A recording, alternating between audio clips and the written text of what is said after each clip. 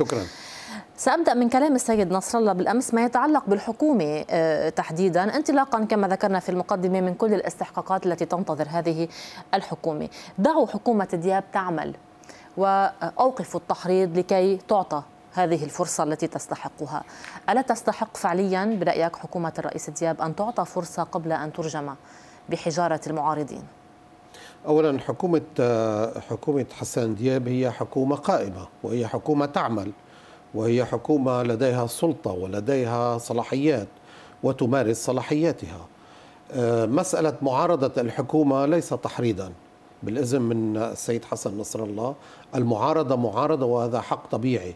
لا يحق لأحد أن يمنع اللبنانيين أي لبناني أن يعارض حكما أو حكومة أو يعارض شخصية سياسية أو يعارض مجلس نواب أو أو عن أو مجموعة نواب أو أي شيء. الموضوع ما ليس تحريضا. أن تعارض أنت لا تحرض. أن تتحدث عن هذه الحكومة بلغة المعارضة نظرا لطبيعتها يعني الطبيعة اللي اللي واضحة أنها طبيعة مستفزة بشكل أو بآخر هذا أمر ليس ليس التحريض ربما من باب اعتبار البعض أنها حقومه حزب الله وهذا الأمر سيستتبع. إنها حكومة حزب ردودا ومواقف قاسية دوليا فيما لو فعلا وصفت بانها حكومة حزب الله. المجتمع الدولي لا يحتاج لا يحتاج إلى للبنانيين إلى اللبنانيين وإلى الإعلام اللبناني وإلى الأصوات الأصوات الحرة في البلد. لا يحتاج إليها لكي يتبين بانه هذه الحكومة هي حكومة حزب الله بالمعنى بالمعنى العام، هذه حكومة هذه حكومة منبثقة من أكثرية نيابية يقودها حزب الله هي أكثرية 8 آذار التي حزب الله هو هو هو العماد الأساسي لها وهو دعمتها الأساسية في البلد. طيب على كل هذا ليس تحريضا، هذا هذه حقائق وهذه وجهة نظر.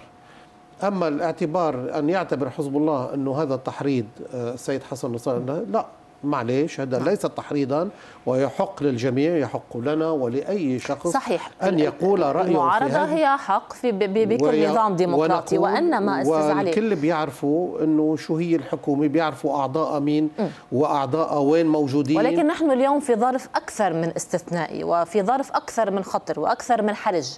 يعني هل من خيارات أخرى بديلة؟ يعني عندما نعارض طيب ما المطلوب أن يبقى البلد بدون حكومة؟ يعني اليوم فيما لو لم تكن هذه الحكومة موجودة هل كانت لتكون لتكون حكومة أخرى قائمة وقادرة وناجحة آه يعني وبامكانها أن تنقذ البلد. مشان هيك يعني اليوم المعارضة يفترض أن تكون بناءة أو أن تمتلك على الأقل خيارات أخرى في هذه المرحلة وإلا ما الفائدة من المعارضة فقط للتصويب ولمنع هذه الحكومة من العمل ربما؟ انت عارفاني إنه ما في تحريض أو ما في معارضة فعلية للحكومة من القوى التقليدية السياسية. يعني لا تيار المستقبل للحزب التقدم الاشتراكي ولا حتى يعني حزب القوات اللبنانية اللي عارضوا طبعا ما عطوا الثقة ما عم بي ما عم بيهاجموا الحكومة بشكل فوق العادي بتلاقيه إنه يعني منقطع النظير وما له سابقة. ما في ما في ضغط بهذا المعنى. الضغط لا بالعلن ولا بالسر. بالعلن لا ولكن سرا. لا لا هن معارضين بس إنه الموضوع ما في ما بده ما بده سر حدا خايفين من حدا بقى بالبلد. في معارضة جدية لهذه الحكومة في الشارع في في رأي عام بالبلد.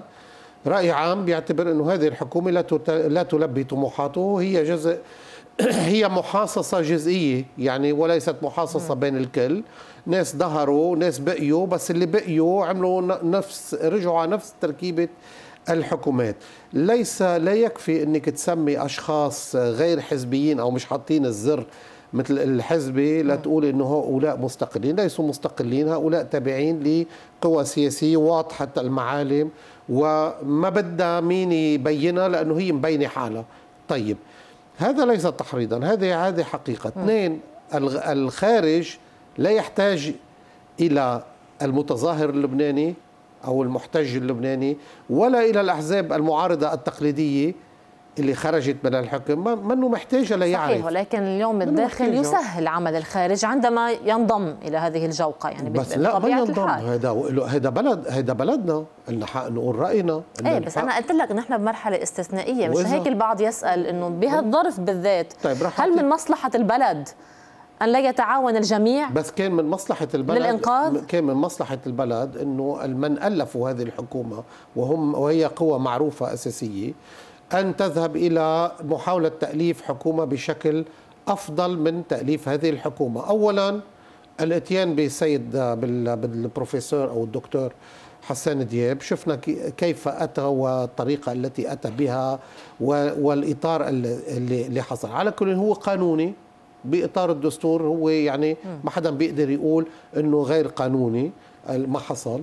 آه، العديد من الوزراء الذين تم تعيينهم هم وزراء جيدون في المبدأ إنما آه، هؤلاء يعني هن بارافونات أو واجهات لقوى سياسية التيار الوطني الحر حزب الله بس حركة بس فرصة صحيح؟ يعني هذا رأي أخ... طبعا. اخذين فرصتهم اخذين يعني... فرصتهم. بكل الأحوال اخذين فرصتهم مش سائلين على حدا وماشيين ما هيك؟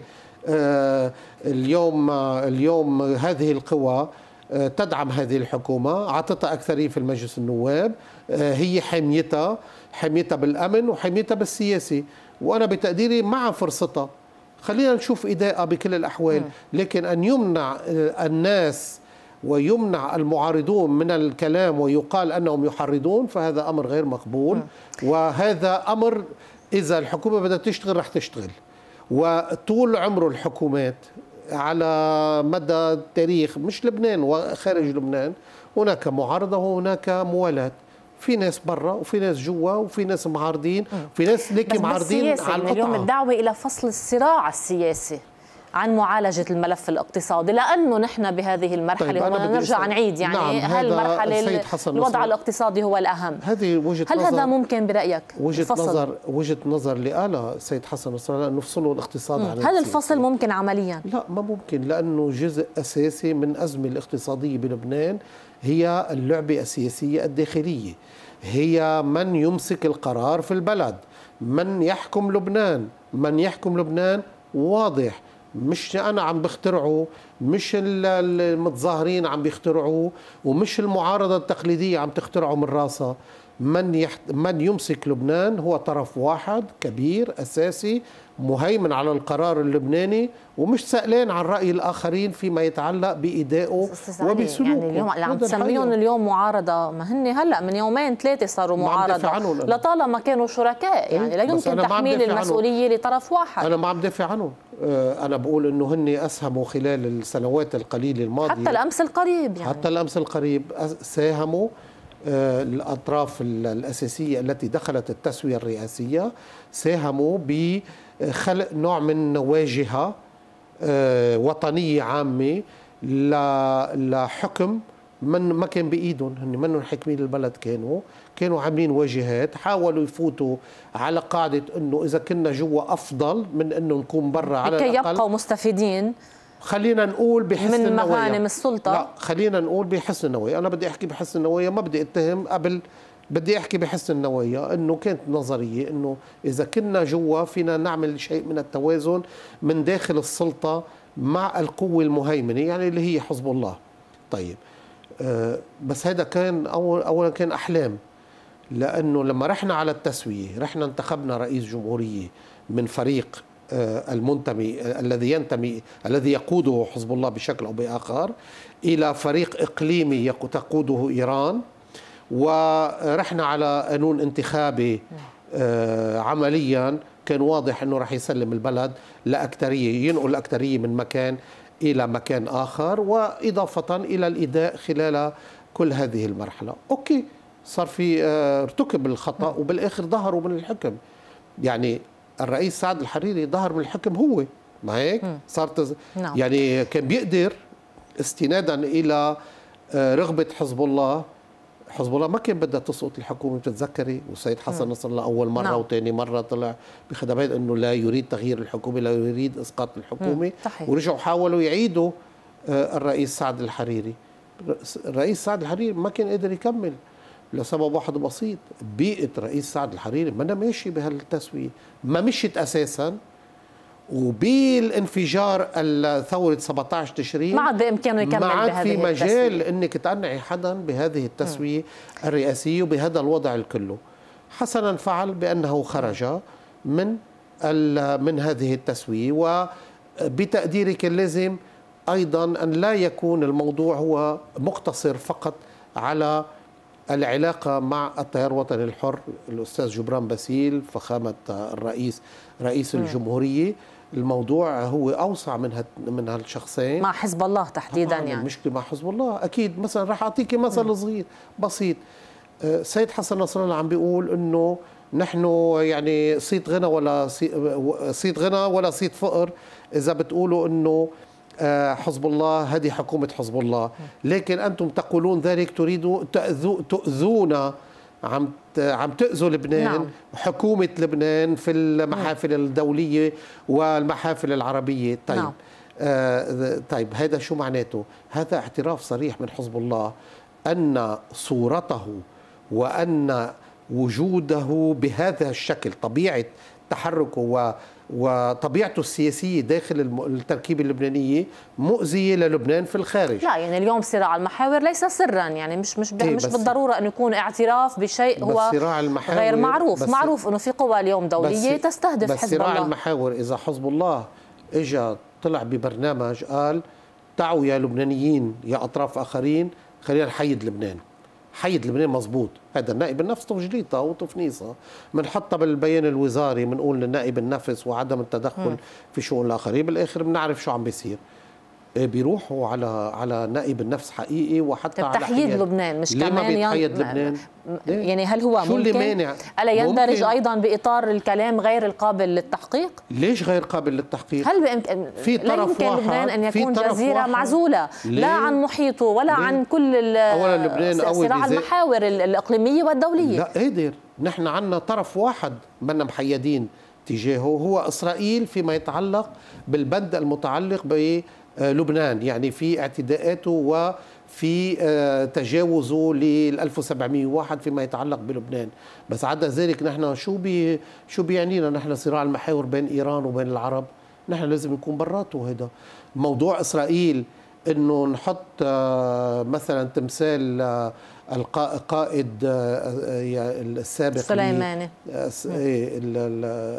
سليماني قاسم سليماني على الحدود.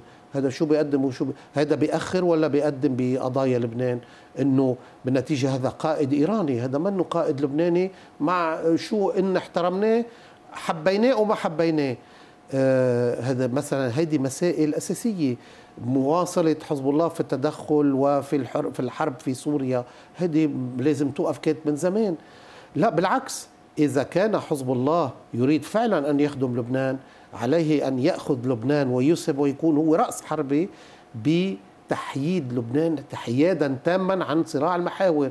يا أخي ما حدا عم بيقول روحوا على السعودية نعم. وعلى الخليج. بس ما تاخذنا على إيران. ما حدا عم بيقول نصفي هون جزيرة أمريكية. جزيرة أمريكية ضد إيران. طيب بس هل فعلا أيضا يعني الطرف الآخر المقابل هو عازل نفسه عن ال عن الدول العربية عن المملكة العربية السعودية وعن, وعن الأمريكيين؟ أنا برأيي يعني هل هذا تحقق من جهة لكي نطالب به؟ بس بس أنا ب... من أنا الجهة الأخرى. أنا وجهة نظري خطوة إلى الأمام في هذا الشأن من حزب الله. تدفع الجميع إلى خطوة تجاهه وتدفع الكل إلى إلى الحياد أولا محيدين شو عم بيحكوا؟ يعني آخر ثلاث سنين مين شفنا عم بي داخل منخرط في الصراع؟ سعد الحريري كان منخرط بالصراع ابدا. كان محيد حاله ومحيد وما ما طلع كلمة حتى تيار المستقبل ما طلع ولا كلمة.